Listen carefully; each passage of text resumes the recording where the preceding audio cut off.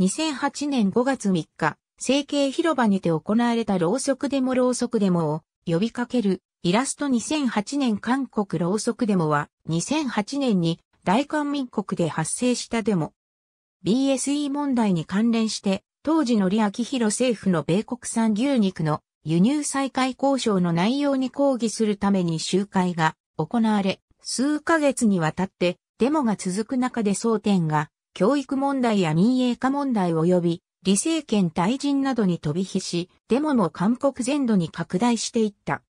5月2日に最初の集会が行われて、以降2ヶ月間、連日数百から数十万人が参加し、6月10日をピークとして7月以降は週末に集会が続けられた。このデモの発端は2008年に米韓自由貿易協定が推進される中、協議中であった米国産牛肉の輸入条件が報じられると、韓国国内で狂牛病の危険性に対する懸念が高まったことによる。市民の大半は狂牛病ろうそくデモに自発的に参加した。子供連れの家族連れの参加も多く、芸能人や音楽家が多く参加し、文化祭的な様相を呈した。デモ参加者の自発的で開放的な特性を置いて、Web2.0 に例えて、民主主義2.0、またはデモ2.0の登場と呼ばれた。一方では、集会が終わった後、街頭行進をしながら大統領府に向かう途中で、警察との衝突が発生した。また、右派メディアは、一部の中高生は、一部の教師が評価加3点を与えるとして、参加を流したと批判した。同時に、デモ鎮圧にあたって、政権や警察による過剰鎮圧問題が浮上した。しかし、一部のマスコミ、団体の誇張と歪曲の混じった先導や根拠のない主張が問題となった。この事態を触発した MBC、PD 手帳の狂牛病関連報道について、2011年9月2日、韓国欧報院は、韓国国民が狂牛病にかかる可能性が高いという明らかな虚偽報道であるとして、訂正報道をするよう命じ、判決を受け MBC は謝罪放送をした。これに対し PD 手帳のスタッフらは反発し、MBC を提訴した。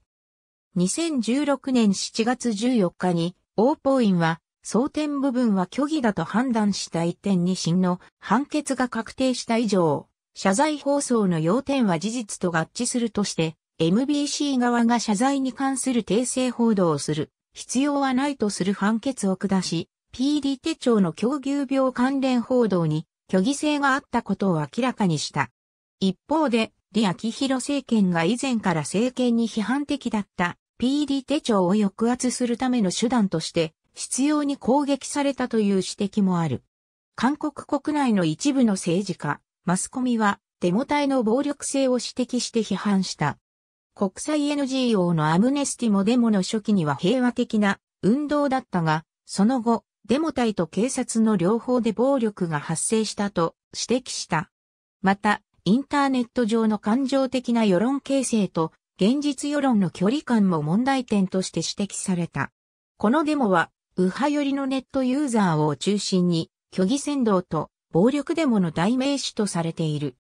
当時、科学的根拠のない主張やデマなどを掲げて、世論を煽るデモ支持者に対する反発が、後に社会的に大きな波紋を呼んだ DC インサイド、政治社会ギャラリーやイルベのような電子掲示板をはじめとする組織的な保守成功のインターネットコミュニティの帯同の原因になったという分析もある。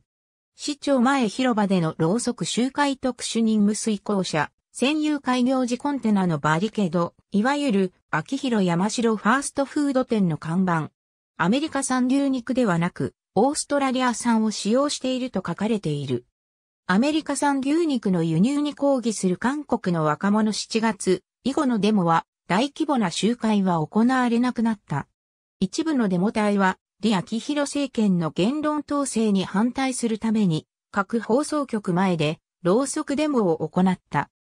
東亜日本。2021年5月29日閲覧。韓国の放送局、過去の狂牛病報道で謝罪、責任を痛感。中央日報。2021年5月29日閲覧。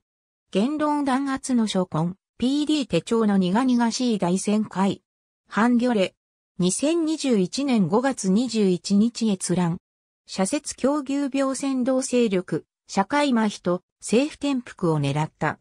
東亜日報。2021年5月29日閲覧。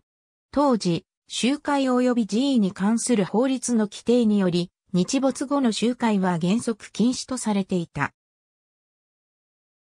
米国産牛肉、ベビーカー部隊巡り与野党公防朝鮮日報2008年10月10日、韓国大統領退陣要求でも、ろうそく集会11.26。コネスト。2021年5月29日閲覧。ありがとうございます。